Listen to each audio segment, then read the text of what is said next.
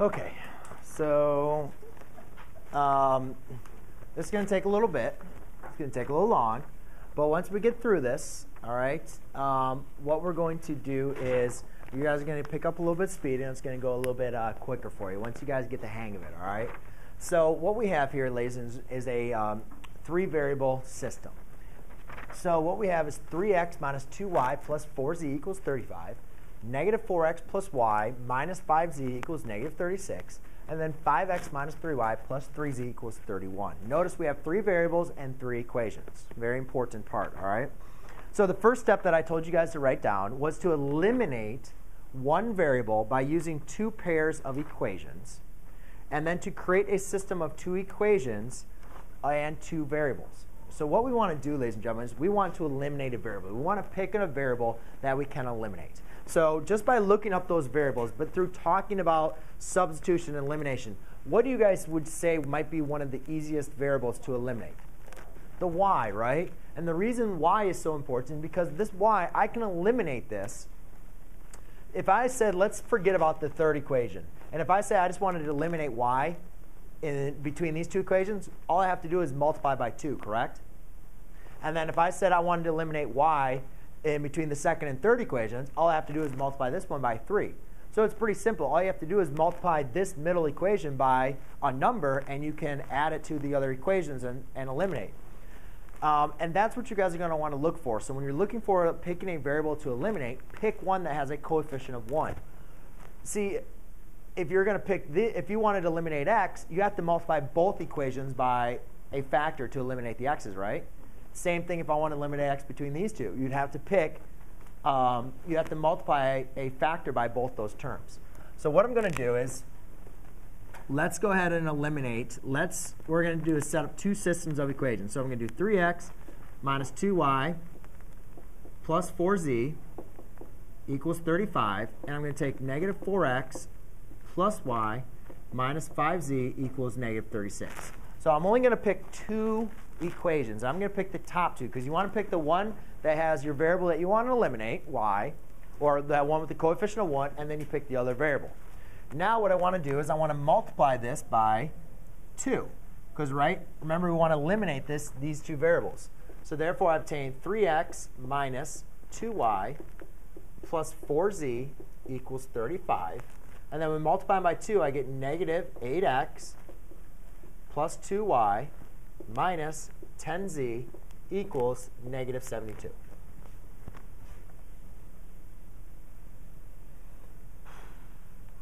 Does everybody follow me what I did so far?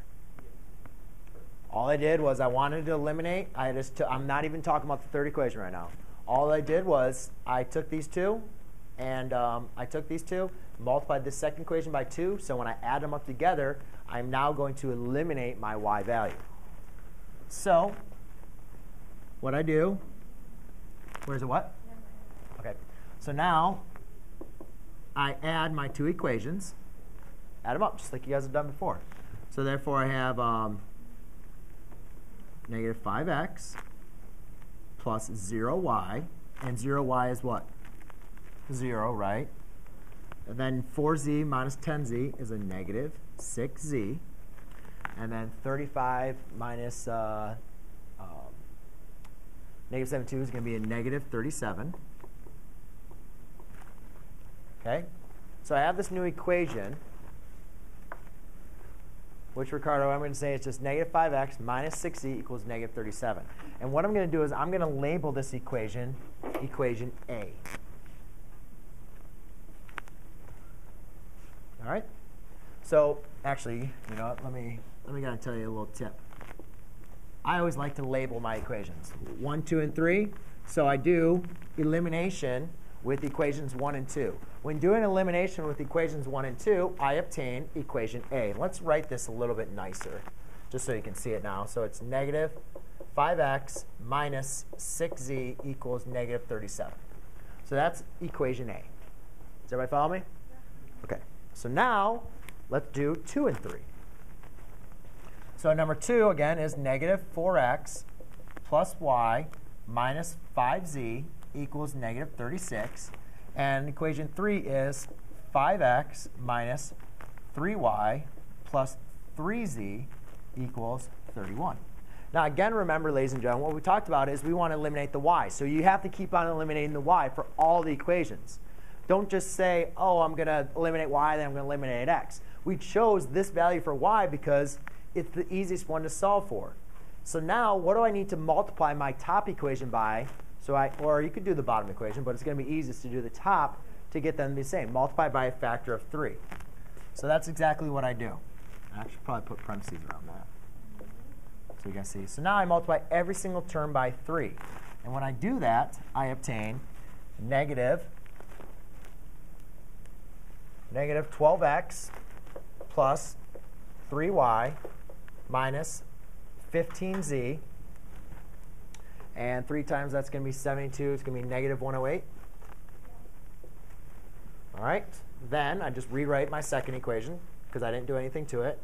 So that's 5x minus 3y plus 3z equals a positive 31.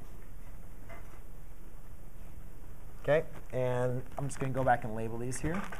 This was equation 2 again, and equation 3.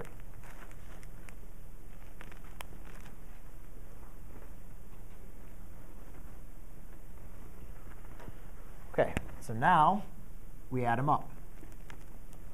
So remember, we did that whole process so we could eliminate the y again. So what I get is a negative 7x, 3y minus 3y is 0y, and then negative 15z plus 12z is going to be negative 12z, and then negative 108 equal or plus 31 is going to be negative 77. Okay, again, you guys notice now I have an equation, two equations now with no variable y. So we're going to label this B. All right? Has everybody found me so far? So now we found A and B. What's so cool about A and B, Wendy? Oh, no. A and B, that's so cool, so cool about A and B is, do they have any Y's? No. So how many variables do we have? Two.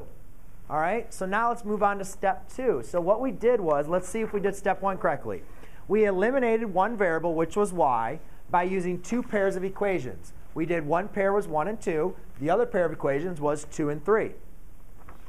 And then we were supposed to create a system of two equations, a and b, with only two variables. Is that what we have?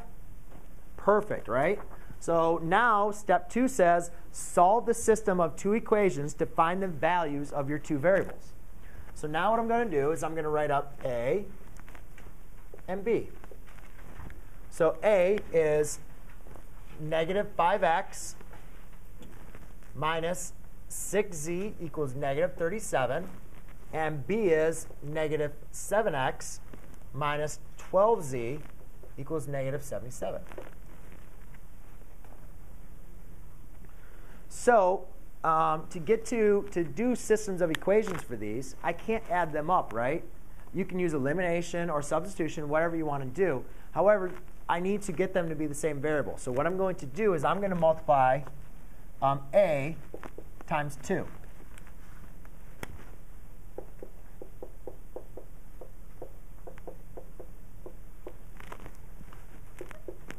So when I multiply that by 2, I now obtain my new a, which is a negative 10x minus 12z.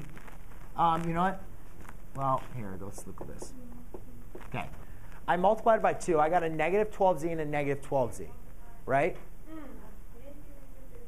No, I didn't. Uh, negative 74. Okay. Um, but what I'm trying to make sure that's fine. If you guys want to do negative 12z and a negative 12z, that's fine. Because what do you need to do? Subtract the two equations, right? When you have them with the same value and same sign, you subtract them. However, I'm telling you, more mistakes will happen by subtracting than they will by multiplying by a negative to make sure that you have a positive and a negative so you can just add them. So what I'm going to do is I'm actually going to multiply by negative 2. By multiplying by negative 2, I end up with a positive 10x, a positive 12z, and a positive 74.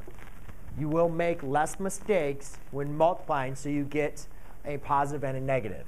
So let's rewrite b now. b actually didn't, it's just going to be exactly the same. Okay, so now I add my two equations. Right, we're using the elimination technique. I have a positive and a negative, same term, so I add them. If they have the same sign, you could subtract them as I talked about. So what I get is 3x equals negative 3. Divide by 3.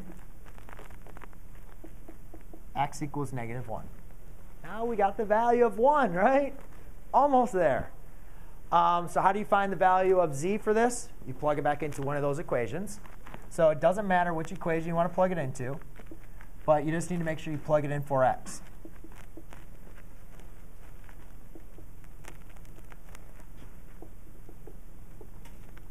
Okay, negative 5 times negative 1 is a positive 5 minus 6z equals negative 37. Uh, subtract 5.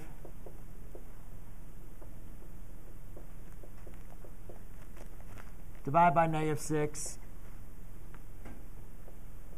So therefore, I get z equals 7. Okay, Ricardo? z equals 7.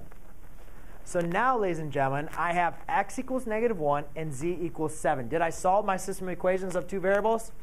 Yes. So let's go down and move to step 3. Step 3 now tells us to substitute the two values of your substitute the two values into one of your equations. You have three equations to choose it does not matter which one you want to pick.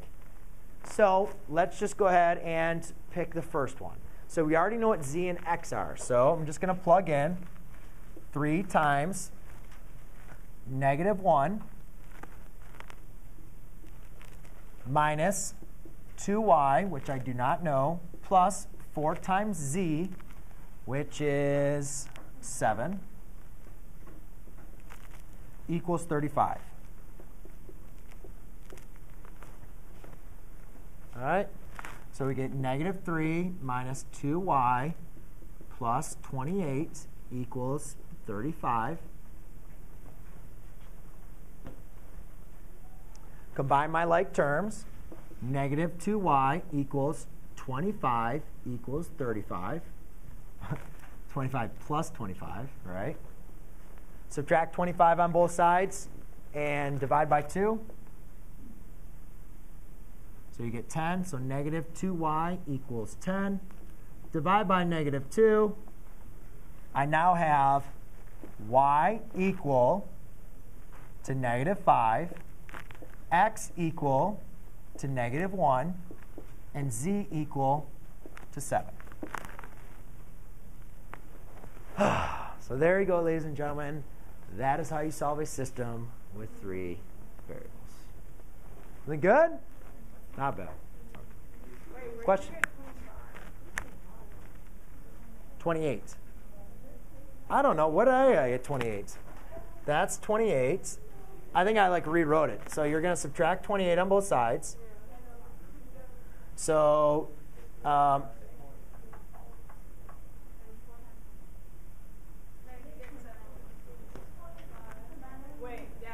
Oh, yeah, I combined those two terms. You're right. I was right. Do you see where I got the 25? I did negative 3 plus 28. I combine my like terms. We good?